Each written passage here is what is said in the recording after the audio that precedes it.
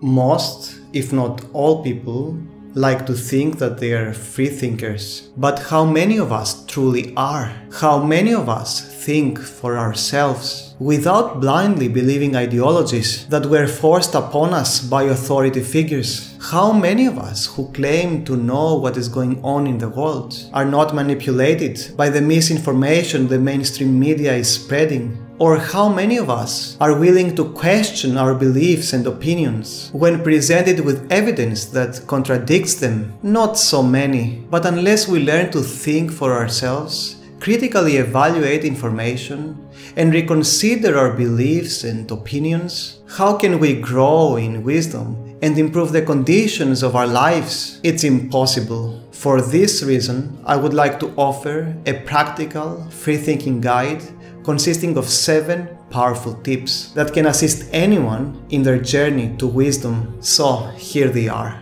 1. Doubt your beliefs. The first and most important step to becoming a free thinker is to doubt the beliefs that were handed to you by society. Whatever your beliefs are religious, political, philosophical, and so on be sure to question them and start your quest for truth from scratch. 2. Rebel against authority. A lot of people blindly believe and follow what external authority tells them is right and true. They don't think for themselves. Rather, they let others think for them. A free thinker, however, does not adhere to any dogma just because someone else said so, no matter how much power or status that person has. Instead, a free thinker questions everyone and everything and is open to accept any answers that point to the truth, even if they contradict those of authority figures. 3. Observe your behavior. Although we tend to think that we act out of free will, many of our actions are actually carried out on an unconscious level. In other words, we are victims to our habits. To become a free thinker, you need to be aware of your thoughts, feelings, and actions. How? By observing those things. Once you do that, you will be able to bring into light your unconscious thinking and behavioral patterns, which in turn will allow you to consciously respond to the present moment, instead of reacting in ways that your habits compel you to. 4. Escape the herd. Another important step to becoming a free thinker is to detach yourself from groupthink. You see, people tend to conform to how others think and act just so they can feel liked and accepted by them. But oftentimes, those ways are harming themselves and the world.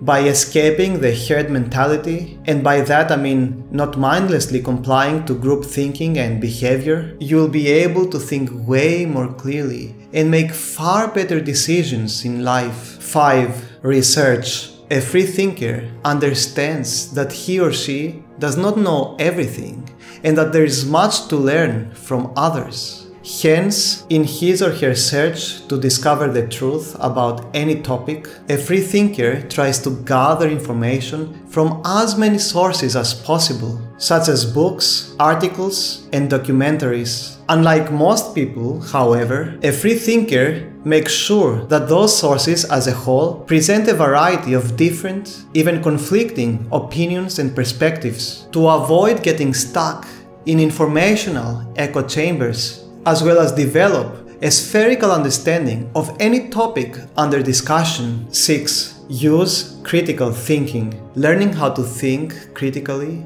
is of utmost importance to free thinking. If you can't analyze and critically assess the information you come across, you'll not only be unable to understand whether it's true or not, but you'll also be an easy target for manipulation. To think critically, there are several tools you can use, such as evaluating whether that information stands to logic and is backed up by scientific evidence, or whether it resonates with your emotional intelligence and experiential understanding. Of course, all those tools are flawed, but if we are sincere in our search for the truth, they can be of great use in helping us to approach it. 7. Be open to change. Last but not least, a free thinker is a person with a flexible mind.